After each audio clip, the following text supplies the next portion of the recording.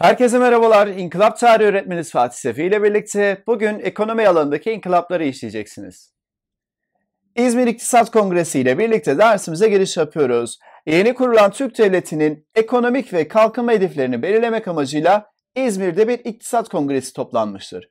İktisatın kelime anlamı ekonomiydi. Yani İzmir'de ekonomi kongresi toplanmış. İzmir İktisat Kongresi'nin genel amaçlarına baktığımızda ise milli ve bağımsız ekonomiye geçişin temellerini atmak amacıyla toplanmıştır.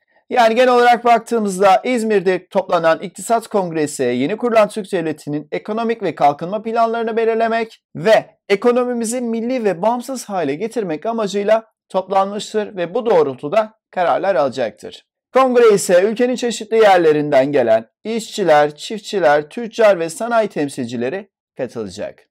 Şimdi de kongrede belirlenen kalkınma hedeflerini inceleyelim. Birinci madde diyor ki ham maddesi yurt içerisinden temin edilen sanayi dalları kurulmalıdır. Bakın özellikle ham maddesinin yurt içerisinden olmasını vurguluyor. Nedeni ise paramızın yurt dışına çıkmasını istemiyoruz. Diyelim ki bizde ham madde olarak taş kömürü var. O zaman taş kömürüne yönelik sanayi dalı kurmamız gerekiyor. Diyelim ki bizde pamuğun ham maddesi var. O zaman pamuğa, e, dokumacılığa yönelik sanayi dalları kurmamız gerekiyormuş. Ham maddesi bizde olmayan bir sanayi dalı kurmak istemiyoruz. Neden? Eğer kurarsak bu sefer paramız yabancılara gitmiş olacak, yurt dışına çıkmış olacaktı. İkinci maddemiz diyor ki el işçiliği ve küçük imalattan fabrika ve büyük işletmelere geçilmelidir. Çünkü el işçiliği ve küçük imalatın olduğu yerlerde üretimde fazlalık olmazdı. Çok fazla üretim yapılmıyordu. Ancak fabrika ve büyük işletmelerin olduğu yerlerde üretim anlamında büyük bir patlama yaşanabiliyordu. Bu da ülke ekonomisine büyük katkı sağlıyordu. Üçüncü maddemiz yerli malı kullanılması ve tasarruf özendirilmelidir. Yerli malı kullanılacakmış ve tasarruf özendirilecekmiş. Sonraki madde diyor ki yabancıların kurduğu tekellerden kaçınılacak. Bakın yabancıların hakim olduğu şirketlerden kaçınılacaktır diyor. Bu da ekonomimizi güçlendirme adına atılmış bir adımdır. Ayrıca devlet özel sektör tarafından gerçekleştiremeyen yatırımlara öncülük edecekmiş. Yani diyelim ki özel sektör tarafından kurulanmayan bir yatırım var. Devlet orada devreye girecek ve o yatırımlara kendisi öncülük edecekmiş. Son maddemiz ise demiryolu yapımına önem verilmelidir. Bir ülkede ulaşımın gelişmesi demek, o ülkede ekonominin gelişmesi demektir. İzmir İktisat Kongresi'nde alınan bütün bu kararlara misak-ı iktisadi yani ekonomi andı adı veriliyordu. Misak yemin demekti, iktisat ise ekonomi demekti, ekonomi yemini yani ekonomi andı adı veriliyormuş alınan bu kararlara. İzmir İktisat Kongresi ve alınan kararlar bu şekildeydi arkadaşlar.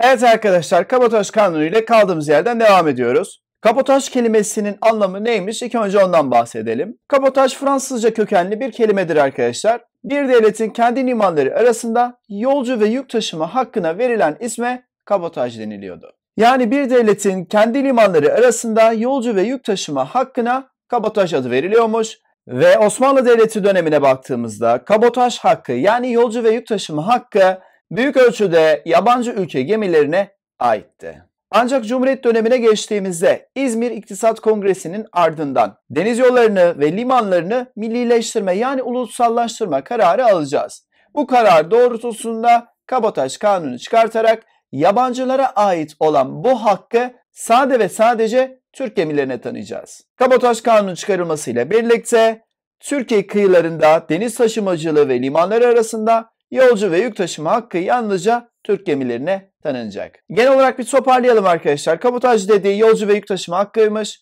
Önceden büyük ölçüde yabancı ülkelere aitmiş bu hak. Cumhuriyet dönemine geldiğimizde ise deniz yolları ile limanlarını millileştirme kararı alıyoruz. Bu doğrultuda kabotaj kanunu çıkarıyoruz.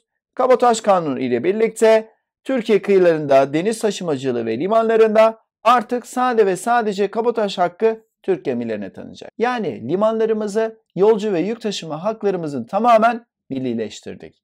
Bu da milli ekonomiyi geliştirdi. Kabotaj kanunu ekonomik alanda gelişmemizi sağlayacak. Şimdi tarım alanındaki inkılaplara bakalım. Tarımı geliştirmek adına aşar vergisi kaldırıldı. Aşar vergisi dediği köylüden alınan, çiftçiden alınan vergiydi. Aşar vergisinin alınmasının kaldırılmasıyla birlikte çiftçilerin sırtındaki büyük bir yük kaldırılmış oldu. Böylece onlar tarım yapmaya teşvik edilmiş oldu. İkinci maddemiz diyor ki tarımı desteklemek için çiftçilere kredi verildi. Devlet tarafından onlara kredi verilecek. Ayrıca tarım kredi kooperatifleri kurulacak ve son olarak da Atatürk Orman Çiftliği örnek olması amacıyla Ankara'da kurulacak. Tüm bunlar tarım alanında yapılan çalışmalara örnektir. Arkadaşlar son olarak sanayi alanındaki gelişmeler ile birlikte dersimizi bitireceğim. Yeni kurulan Türkiye Cumhuriyeti'nin güçlü bir ekonomiye kavuşması için güçlü bir sanayiye sahip olması gerekiyordu. O yüzden insanlarımızı sanayi teşvik etmek amacıyla teşviki sanayi kanunu çıkarılacak. Teşviki sanayi kanunu ile birlikte halkı sanayi kurmaya teşvik ettik. Ancak halkın ekonomik gücü ve yeterli tecrübesi olmadığı için sanayileşmede yeterince sağlanamadı. Bakın güzel bir kanun çıkartıyoruz. Halkı sanayiye teşvik ediyoruz. Ancak bu kanun başarıya ulaşamıyor. Neden? Çünkü halkın ekonomik gücü yetersiz. Ayrıca tecrübesi de yoktu. O yüzden sanayileşmeyi yeterince sağlayamayacaklardı. E peki biz bu durumda vaz mı geçeceğiz sanayileşmekten? Hayır. Sadece uyguladığımız yöntemi değiştireceğiz. Bunun üzerine Atatürk'ün devletçilik ilkesini uygulamaya başlayacağız. Devletçilik ile birlikte özel sektörün yetersiz kaldığı yerlerde devlet araya girecek ve devlet eliyle ekonomi geliştirilmeye başlanacak. Yani sanayi kuruluşlarının büyük çoğunluğunu artık devlet kuracaktı. Özel sektörü devlet destekleyecekti. Devletçilik ile birlikte birinci 5 yıllık kalkınma planı hazırlanacak. Bu plan 5 yıllık bir plandır. Bu planın uygulanmaya başlamasıyla birlikte ülkenin büyük çoğunluğunda sanayi kuruluşları kurulmaya başlanacak. Başarıya ulaşmıştır. O yüzden artık koyuyorum bu kalkınma planına. Ancak birinci 5 yıllık kalkınma planı sadece 5 yıllık bir plandı.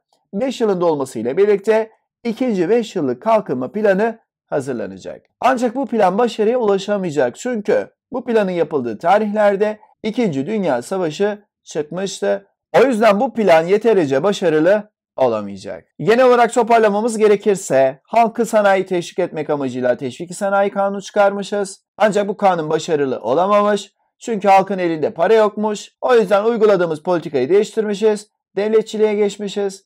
Artık özel sektörün yetersiz kaldığı yerlerde devlet araya girecek ve ekonomiyi devlet geliştirecekse devletçilik doğrultusunda birinci 5 yıllık kalkınma planı hazırlanmış. Bu plan doğrultusunda bir sürü fabrikalarda sanayi şirketleri açılacak. Başarılı olduğu için artık koyduk. İkinci 5 yıllık kalkınma planı başarılı olamayacak. O yüzden eksik koyuyorum. Çünkü 2. Dünya Savaşı o dönemde çıkmıştı. Yeterince başarılı olamayacak. Ayrıca bu dönemde İş Bankası kuruldu, Kayseri Uçak Fabrikası kuruldu, MTA yani Maden Tetkik Arama kuruldu, Etibank kuruldu, Uşak Şeker Fabrikası açıldı, Türkiye Sanayi ve Maden Bankası kuruldu. Arkadaşlar bu şekilde ekonomi alanındaki inkılaplarımızı da bitirmiş olduk. Bugünlük dersimizi burada bitiriyorum. Bir sonraki dersimizde görüşmek üzere. Hoşçakalın.